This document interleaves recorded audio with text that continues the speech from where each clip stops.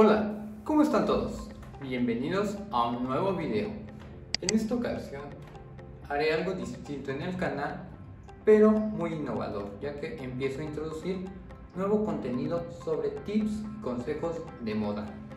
Muchas veces tenemos esta problemática de que nos quedan largos nuestros pantalones, nuestros jeans y pues generan bultos en la parte final de nuestro pantalón esto se ve feo y no tenemos ni siquiera el tiempo de coser nuestros pantalones por lo cual hoy te voy a enseñar un tip de cómo doblar tus jeans para que se vean impecables y geniales empecemos con el video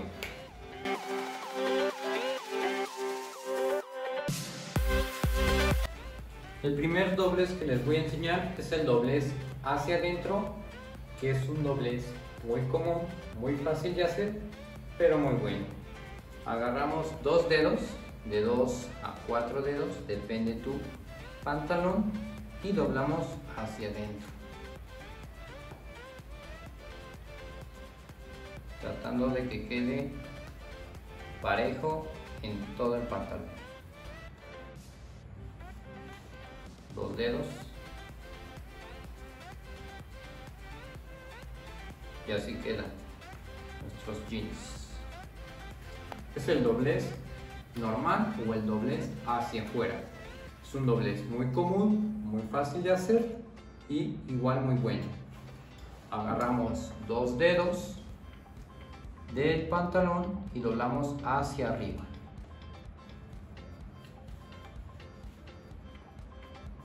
Dos dedos y hacia arriba. Cuando el que quede parejo y repetimos.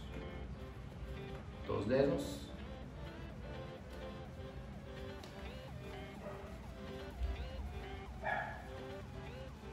Dos dedos.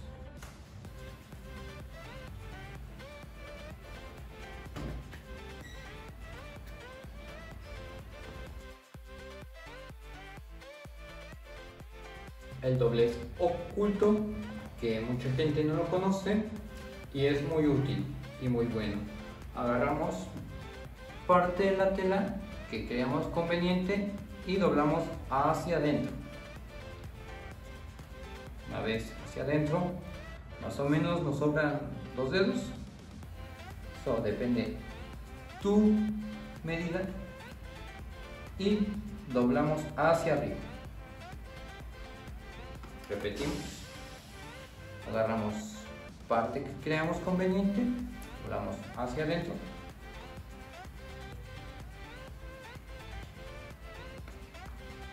Y el restante doblamos hacia arriba. Que quede parejo para evitar que se vea mal.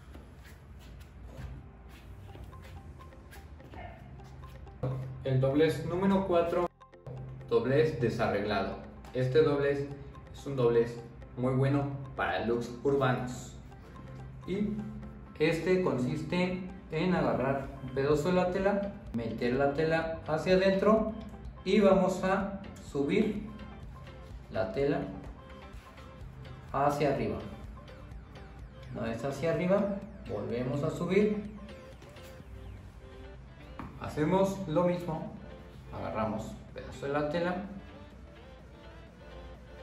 subimos, creamos esta especie de pellizco para que se sujete el pantalón a la hora de subirse otra vez. Y ahí está, otra vez se sube.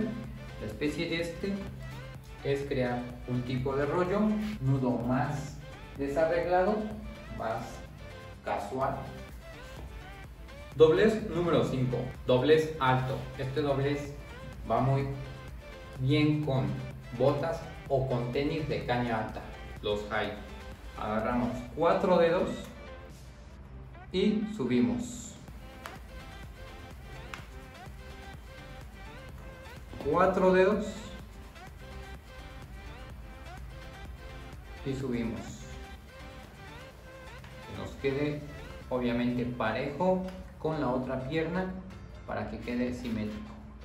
Es un doble salto que va muy bien para botas, tenis de caña alta, ¿Para qué? Pues para que se vea nuestro calzado, que es lo que queremos destacar. Número 6. El doblez doble.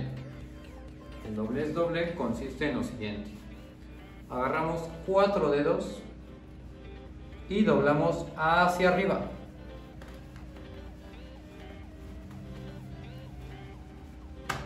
Paso siguiente, agarramos dos dedos y doblamos hacia arriba.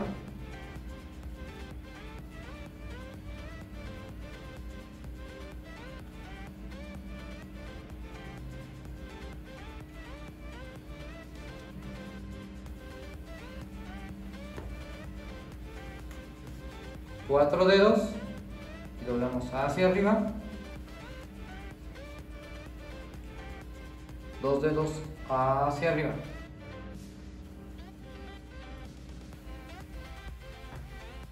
¿Cuál es el propósito de este doblez? Crear una ilusión óptica de que tenemos dos dobleces cuando en realidad solo hicimos un doblez, pero utilizamos una técnica muy diferente. Número 7. Doblez ancho. El doblez ancho consiste en agarrar cuatro dedos y subir hacia arriba. Repetimos la acción, agarramos cuatro dedos y doblamos hacia arriba.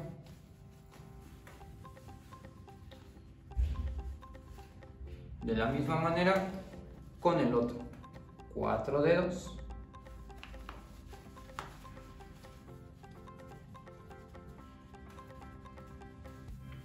Y agarramos cuatro dedos.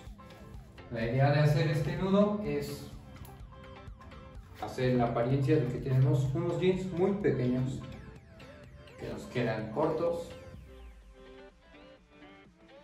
Número 8. Diente doblez. Para esto vamos a ocupar cuatro dedos y vamos a doblar hacia arriba. Una vez doblado hacia arriba, cuatro dedos, vamos a doblar solo un dedo hacia abajo. Para más referencia, pues solo va a ser doblado este dobladillo que tienen los pantalones. Ahí está. Repetimos la acción. Cuatro dedos.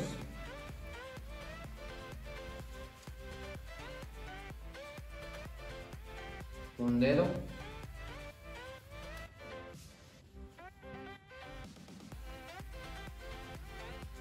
Y ahí está. Número 9. Doblez a medio hacer. El siguiente doblez consiste en lo siguiente. Vamos a agarrar cuatro dedos. Vamos a subir